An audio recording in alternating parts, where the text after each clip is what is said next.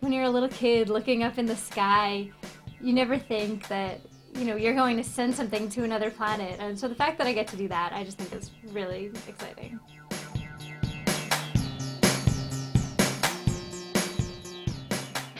Honeybee Robotics is a small company that mostly focuses on contract work for NASA. We produce the rock abrasion tool, which is currently on the Mars rover Spirit and Opportunity.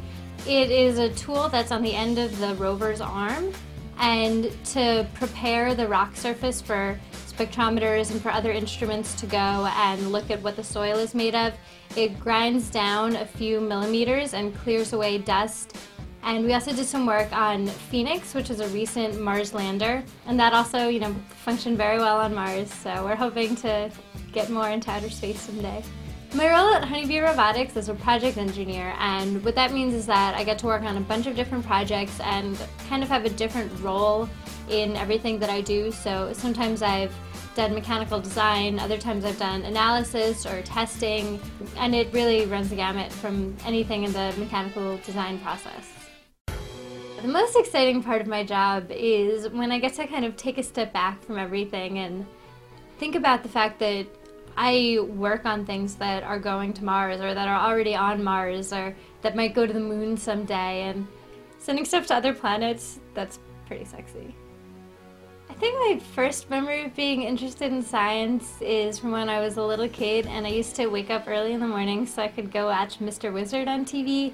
And it was this TV show, was kind of the predecessor to Bill Nye and he would have kids on and they would do all these science experiments and to this day I remember a lot of the experiments and I remember thinking they were just the greatest things ever. The best science experiment I remember seeing was in a physics class in college where we were learning about electromagnetism and the professor took a coil and it was generating so much heat that he was able to fry an egg on top of it.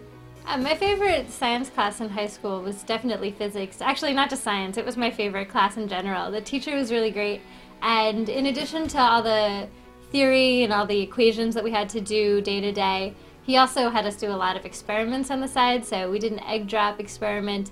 Um, once we built mousetrap cars and just little things like that where you got to you know do something hands-on. My favorite science word is probably sublimation, uh, which is when something goes directly from a solid phase to a gas phase without melting into a liquid first. Um, I just think the word sublimation sounds really cool, like something a spy would do. There are definitely not a lot of women in my office, and there haven't been a lot of women around since I decided I wanted to do engineering. But it's something that I've gotten used to, had to adjust to it, and if anything, I think I've formed closer relationships with the women who are around. My only advice to someone who wants to be in science is to really stick with it. And if that's what you're interested in, especially as a girl, you have to just ignore any stereotypes, ignore people who say girls can't be good at math, girls can't be good at science, because they absolutely can.